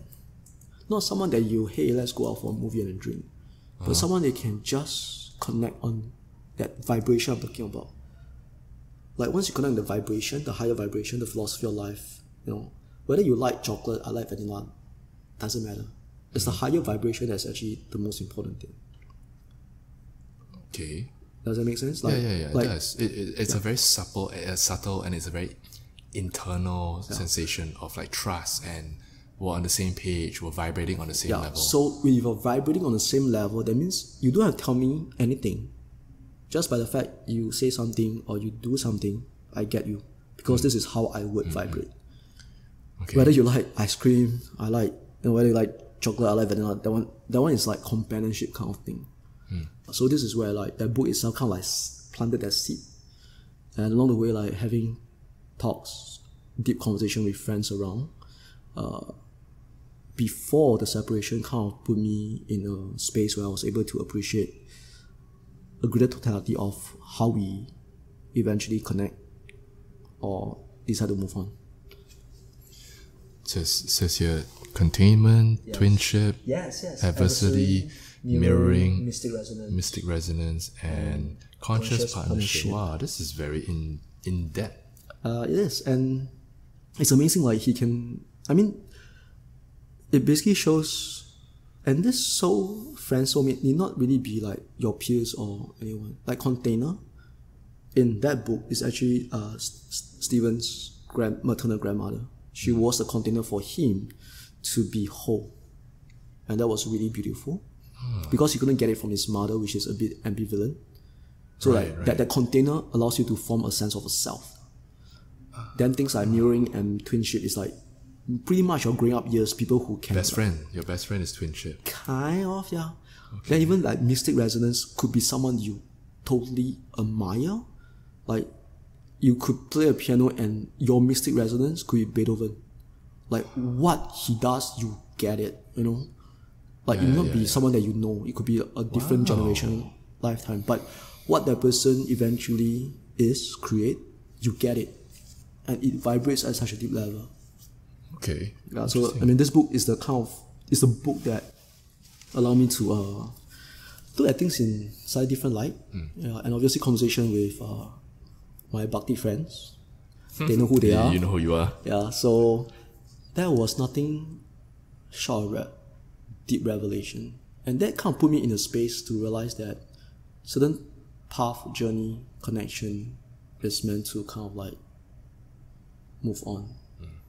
Move on not because you move on from resentment or animosity, but move on because you see that reality for what it is. And this is really hard. Like you realize that, gosh, this is this is like the truth. Your yeah. And then how do you move on from there? And it's really scary. Also, we talked about how all this ties in with your identity. Like you, like we talked about how you had always been the father, you had always been the husband figure. That was your identity, hmm. and you played that role for thirty over years. And then now, if you had you had to like decide, like okay, I, I can no longer play this role as the husband. Then who am I eh, eh, hmm. already? You know who, you know, people know me for this as being this person. Then how can I, you know, everything is all distorted. You don't know who you are anymore. There's confusion. There's maybe animosity. There's angst or whatever to, not not say to the people around you, but to yourself as well, right? You get angry about like, hey, so no, so then what, what, what am I now? How did that? How did you go through that? And um, what was that like? It was like in a storm. Like, I mean, the best analogy I can give is like you're on this raft and the storm just toss you over and over again. But what I mean, there are days where I literally crash. You know, like I could meditate and I would just break down. And this is really the truth. Like you just break down because what arises get so overpowering. It's all stored up. It's all Yeah, so overpowering. Uh, but like this trust in this practice, you know, going back to the yoga practice, like finding that steadiness, finding the ease in the unease. We can share that in class. Uh, we, we share that in class, and it- it's great for the 16 minute class. But but then again, because I've been looking at the practice in that way, hopefully embracing the best I can authentically. So in a way, you're teaching yourself as well. It's a reminder to yourself. Exactly. lah. Like, it's easy to sit when life is great. That's whatever 30 minutes sitting is like great, please. How do you sit when your whole world around you is crashing? I can tell you, I don't even want to sit. But I sat. Was it great? I don't know. But I sit with it. You know, there are moments where I get clarity. There are moments what I felt was clarity crash again. So it's like you keep on going back over and over again. Mm. And what you mentioned about that identity, the the hat I've been, the multiple hat I've been wearing, it's true. You know, we get identified by the hat that we wear as we navigate through life. But then again, is that who I truly am? The fact that I'm, uh, how to put it? It's like you're not bound to your identity. Like Yeah. you have the ability to change who you are at any point of your life, what? I wouldn't say change who I am because, in a way, or to recreate I don't know. or redefine. yeah, maybe redefine is a good word to. I mean, like you use. are who you are from birth to death. You are the same person in a sense. Like whatever you do, you sort of know. Like I, I won't like this or I will like this. You sort of know what you are, and that is say your quote unquote identity. That's who you hmm. are. Uh, you know, Emma doesn't like durian, or Emma likes to eat this, or it's very standard stuff. But as we grow, we can learn to adapt. We're the same, but then we're also different. Hmm. So like we would have shared in class about letting go, surrender. Hmm. Right, these are sharing. What my practice is, back to that, letting go of identity, surrendering to this trust that I just want people around me to be happy. Hmm. I think we talked about this. Hmm. So when the reality reveals itself, I realized that people around me are actually not happy. You know, like ordinary suffering. Then the reason why I made the decision I made was to make people hopefully around me happy. But it's not easy. It's like they it's hard to see happiness when you go through this big shit. On, on a personal level. Like my mom was like, Why are you doing this? They may not ever see that happiness that comes from this actor. like yeah like the way i look at it is like because in a family of let's say three adults you know the day to day is like really really contracting mm. you know like you don't really talk much you just go through life yes That's but, the pause in between this. yeah i mean like you have certain occasions, you have a meal outside you know but the day to day itself is really there's there's a deep sense of underlying resentment and stuff like that so and then the resentment also comes from the fact that of uh, not meeting expectation. Okay, these are all like things that layer on. So when the reality revealed itself, I realized that people around me, like my mom, my ex-wife, are actually not happy. We're not arguing. Don't get me wrong, there's no big argument, but they're just not happy. And eventually, the choice I made, and from for other people it may seem like a very selfish choice, but it's from this place of Good intention. compassion and hoping people to be happy. And we were talking about synchronicity and how things kind of like slowly lead me to this space. Uh, I know it sounds a bit. Another story. It's the whole story. It may sound a bit really like woo. Yeah. But when I'm seeing that synchronicity, I'm I'm experiencing it at times like it's so vivid, like synchronicity and certain things. I cannot deny my truth. It's like mm. I felt what I told Leigh and Max is that I felt like I'm being on this raft once again. Like this big wave just pushed me to the shore, like just moved me to the shore, and I cannot stop that wave. So whatever has happened, like as I said, I did those things which is in isolation. Mm. If I take a step back, it's actually one whole tapestry. You know, the line, the curve, the dots. It's actually one big picture. It's hard to uh, understand because, but this is actually how I feel it throughout this whole couple. It may be hard to understand because we are, like, say, I, I will never understand the certain intric- intricacies that happen or the synchronicities that you witnessed hmm. or how you felt about those inst- instances. But I understand it on a level where you knew it to be true. You hmm. know, it doesn't have to make sense, but you just, at that moment, you felt like this is the right thing to do. Hmm. And who are we to deny that? As the outsider we we will never know what you're going through what your family is going through or what what animosities or what tensions lie in that household. But this act it might seem like a negative act like Selfish say yeah, divorce oh i want to run away. Maybe that people will interpret it in that way. But at that point that was what you needed to do right? To maintain to uh, the order again right? Or whatever. I wouldn't say order like like there's this deep feeling I had inside me that I want the people around me to be happy. Mm. How, how do you explain that? You just want you to be happy. Mm. You know? Because if you stay together, there's a lot of unhappiness. Yeah. Then leave. You know, And it sounds is- simple. But it's really very hard. Yeah. Because you're not living because of certain things you've done, arguments, know, quarrel. If if you all fight every day, very easy to. it's leave. easy. It's clear to It's see because that. this one is no problem. Everything is fine, but nothing. It wasn't fine. You know, Yes. it was never fine to begin with. It was just you're just cruising. Yeah. You're just numb to the pain because you felt it for so long that you never realized that, that there was the knife in your leg all along. You know, it's once you pull it out, you feel that initial like, ah, you know, this like that but then that's healing. There's yeah, eventually then healing. the healing can begin. Yeah. So it's that brave, like it, it takes courage to go and like, wow, rip it out. Yeah. You know, That was that's a very good or you can leave it in, and then like you know, you can just continue walking with a limp, and you didn't really realize it. Yeah. I you, you put it you put it really well. You couldn't put it as well as that. Okay. Thanks, Angie, for the question. Yeah. Um, I think like to be honest, I've, we've covered quite a lot already. Yeah. I've covered almost everything I wanted to cover. Okay, cool. Um, Shao has a question. Okay, I don't think it's a very good question. Um, it's just a very generic question, but uh, I'll ask it anyway. okay. He wants to know where do you see yourself in five years? Wow. Good question. Good question. Uh, you know this question we generally get asked in the corporate world. Yeah, that's why. Yeah. Yeah, like where do you see yourself in Uh, five like, years? uh, what's your one five year plan? Yeah, like be this, be that. Yeah.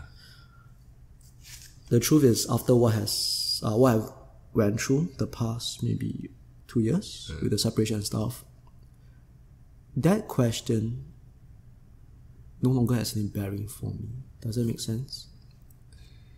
Because. It, hmm, oh, let me think. Not say it has no value. It's a, it's a valid question, mm. but I no longer project myself out like that timeline. Because nothing like you're You you're liberated in a sense. kind of okay so go back to like back then when i was in the previous marriage like mm. that fire makes sense you know fire makes sense because by then You need to certain things certain, there are certain things yeah. and so on and so forth right but that was old identity that was a identity of clinging to and that identity projects a possibility forward and that in a way uh, nothing wrong it kind of gives you a, a direction trajectory but if you tell me two years ago that I'll be where I am now, I would say not possible. Never ever possible. You know. And then it goes to show that whatever you're clinging on and whatever the fire plan you're projecting is very much dependent on where you are now based on the identity. Now if the identity itself has been wrecked, dismantled, like I don't even know who Edmund is now, the fire projection actually has no bearing. Hmm, that's interesting. Uh, not to say that's a bad question. It's a good But that, question. that question is good, but you, uh, it wasn't meant to be answered in that way. yes. Because yeah, yeah. No. Because I'm sure he wanted to know. Like I mean, like it's a very s- normal question. Where where do you see yourself in five years? Mm. But then that makes sense because that question forced you to think, and through that contemplation. But how you think is true where you are now. Yeah, But exactly. what I went through is like where I was two years ago. My probably- whole projection yeah. is so different. But this goes to say that like things change and, and, and life flows and things change, but the way it waves and change and it's really quite fascinating. Like I'm going through my experience. Yeah, same time I'm looking at my experience and see how I can learn from it. So a big part of it is like what is identity? That identity that you hold on to. Hmm. And what happens when you lose that identity? Hmm. So then, what is this identity like? Is is an ident is having an identity important? So I would say, okay, this is once again just my uh, contemplation. There's two layers to that. You need identity to go through life, hmm. right? The likes, the dislike, the way you do certain things. That's kind of a identity. Hmm. But if you ask yourself the identity, like the way you do certain thing, is it because of a label? Ah. Are you bound by that identity, Or or are you willing Label, to yeah. evolve? Yeah. So, uh, once again, that's a deep philosophical question. In the Buddhist context, there's no self. okay, this is like another whole different discussion. There's no self. Uh, but then again, the yoga has a self, the absolute self. Does all this even mean an identity? Once again, just different vibration. So I'm not even sure I'm answering your question. Um, I say yes and also no. Yes, because how you conduct yourself forms that identity. No. But is your identity framed by the label you want to be or something that's intrinsically you? right. You know what I'm trying to say? It's like, Yeah, because yeah. I'm this label, I need to act this certain way. Do I act like this because I'm wearing something, Exactly. or am I really like this? Exactly. So there's actually that once again that duality. You can be Aaron free from labeling, and that's your identity. you can be Aaron doing this that defines identity, but it's actually conditioned on the labeling that you want Right. to be. Right, right. Make sense? Yes, it makes perfect sense. Yeah, so that's like one aspect of it. So you think about it, then your identity itself is actually in a way moldable. Like how I was LBY versus LAY, that's like different. LBY. Life before yoga and life after life after yoga. Right. But it's true, right? Like as I Yeah, mentioned, yeah, like yeah, how my life same. was before yoga was like resentment, whiny. Yeah, but you ask me like just- yeah, like yeah, was I happy? I'll tell you yes, I'm happy. But why am I whining so much? No one actually asked me why are you whining so much. No, life after yoga, am I happy? No. Why? You're not whining, but no, there's something inside me that's actually asking more. It's the more. awareness. Yeah, exactly. So is there identity?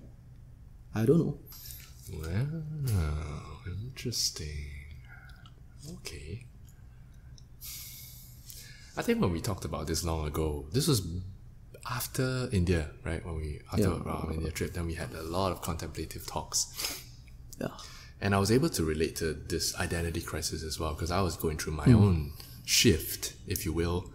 And I noticed how strong an identity can be. As I said, l- it will, it it helps makes everything clear. People understand Hmm. if you are a certain way or if you do things like this.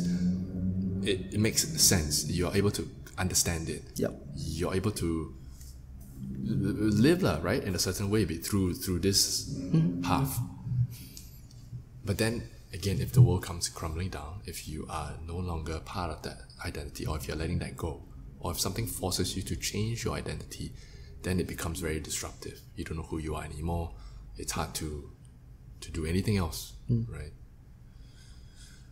Hmm. I think it's very interesting that you're going through this. I think it's very it helps give some perspective to my situation as well, or to whoever that's listening. lah. Yep. Not sure what to make of it. then I would say don't try to make sense of it. Eventually, if it makes sense, months, years down the road, it will make sense. So then, what's the what's the plan moving forward For me or for the question? for for to say this topic lah? Five years down the road? I mean, just, uh, I guess, Just trust. just trust. Yeah, that's a good, that's a good way to look at it. Just trust. Uh, do the best you can. Trust. And then just uh, go with the flow. Honor your truth. I mean, these are things that are easy to say. You know, at times when you get really asked by the universe, it's hard to practice. But yeah, One last question, I think from me, um, on this topic as well, on the terms of trusting and to trust and to surrender is a very passive approach to to to to life, right? It's a very passive, like I'm just gonna sit here and I'm gonna trust things will be okay, versus a more active approach where I'm gonna do something so that I can, so that things will be fine. okay. So, at what point do you like you need to find balance? You need to find balance between the surrender and the action. You can't just if the there's an earthquake, I can't just sit down and say I trust nothing will happen to me. You need to run away, right? You need to take action. Correct. So, at what point do you need to take action? But you realize that your question is being framed in polarity. True full surrender without doing anything and hoping things will be fine, like earthquake. No, so, in itself, doesn't make it's already sense. about balance. Exactly. Like I'm throwing the question back to you. Like like the other part is that you do the action, you want an outcome. Hmm. Am I right to say that you're framing that way? You. Yeah, do something an because you want outcome. outcome. Yes, yes, yes. But oh. the practice of Vairagya is basically do the work and let go of the outcome. That is actually that trust. Nice. That's actually that. That is actually a practice. You do the work. Like I do my work. I I come. I share the practice. And you let go of the I let go of whether you get it or not. Like I mentioned earlier, like whether you get what I'm trying to say. I I hope you get it. Likewise, I am also fine you don't get it. Mm. I'm so fine you're frustrated when you top out from standing poses, but who knows? I'm just trying to plant that seed. I may not be the one that watered it. Mm. No, that could be your teacher down the road that watered that seed. But I hope to be one that planted the seed such that down the years, you know, when we do share again, when you top out of the standing balance pose, you're in a state of bliss. Okay. Yeah, that that's like in a way, as you say, when you trust to the extent, it's actually liberating. Yeah. Yeah, but it doesn't mean that you don't do the work. Yeah. And the thing is, we tend to equate the outcome with the work we do. We don't really embrace the process. Yeah, and and like back to teaching, for example, we put so much effort in learning the craft, sequencing, cueing, hoping people get it. You hope people get it. That's the outcome. But don't forget that you have honed your craft, practice, sequence. This is the mark of you as a teacher, not whether the people get it or not. Mm. We tend to blur that line. People come with their own situation, their own whatever, like they come and if they don't get it at that time, it is not a reflection of you. You know, it is just at that particular time you did what you needed to do. If everybody's all angsty or And that's they came at a bad place, it is you gotta let go of that. Yeah. don't get me wrong, it's hard to share from that space. When you have a room full of how many pair of eyes Different looking at you, energies yeah. all bouncing around. Yeah, so not to say it doesn't get me, it does get me. So it's just being true and honest. Like we're all humans, we get affected by what you share, hope people get it. But it's a matter of like you get affected, but how how how long that that feeling of ah why stays with you. You know what I'm saying? It's like it's like the thought, that feeling of like ah, why people like don't like the class. It, it happens, like especially when you theme and put so much effort in it. But it's like that feeling of ah, could be that maybe half an hour, and it doesn't. then afterwards it's yeah. Yeah. but it gets tricky when it stays with you for days, Yeah. months. When you hold on to it, like, Yeah, so that stirring of ah, why is part of human experience. How you're able to shift to maybe a better state of space and intimacy is your practice.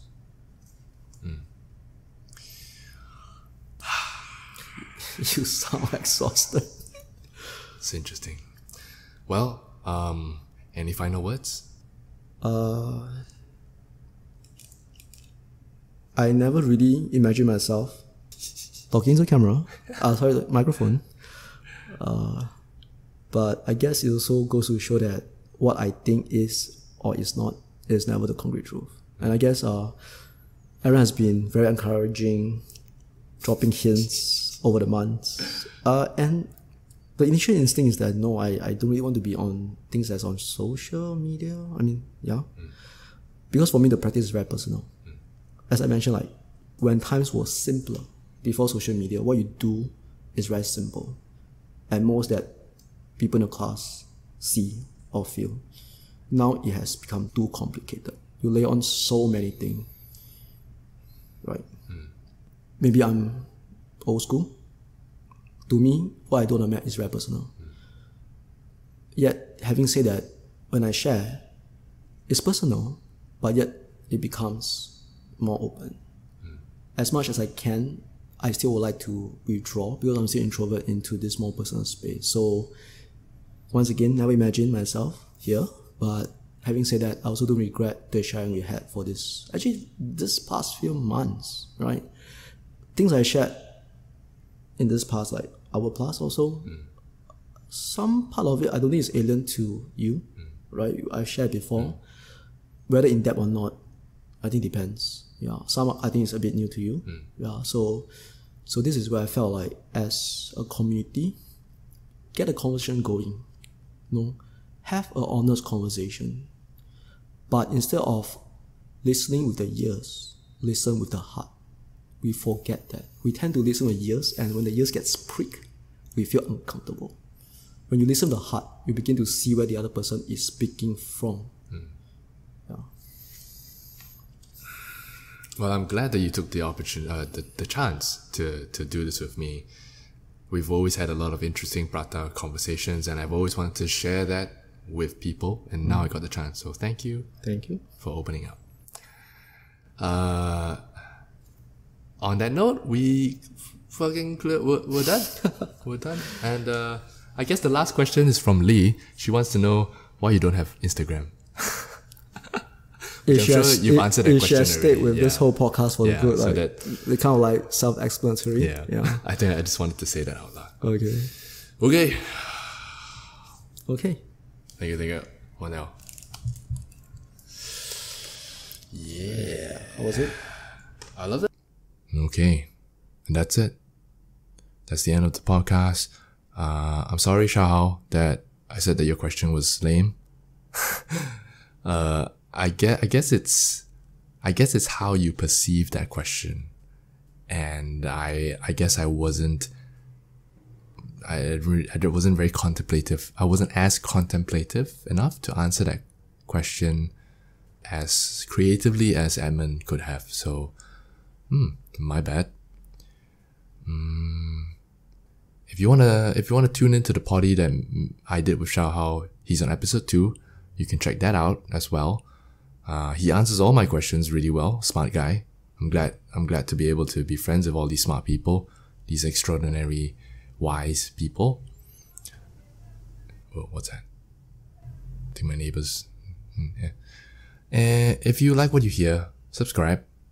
Drop me a message on Instagram. Follow me on Instagram. Let me know what you think. Um, and uh, there are a couple of free yoga practice, yoga podcast practices, bleh, yoga podcast practice episodes for you on this channel. If you want to do them, if you want to go and do them, just, you know, just go listen to it. Lah.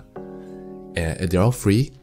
It's donation based, so if you want to give a little something something, you can. The links for the teachers who you uh, the, the donation links for each teacher is within that episode, so you can donate to them, not me. But if you do enjoy listening to this podcast, you can donate and support it by buying me a coffee. Again, all the links in the description below in the thing. Okay, uh, thanks, thanks guys for fucking waiting for the next episode to be out. I know I've been out for a long time, three months ish. Good to be back. Glad to be able to be in your ears again. Ooh. Thanks for listening. Okay, bye.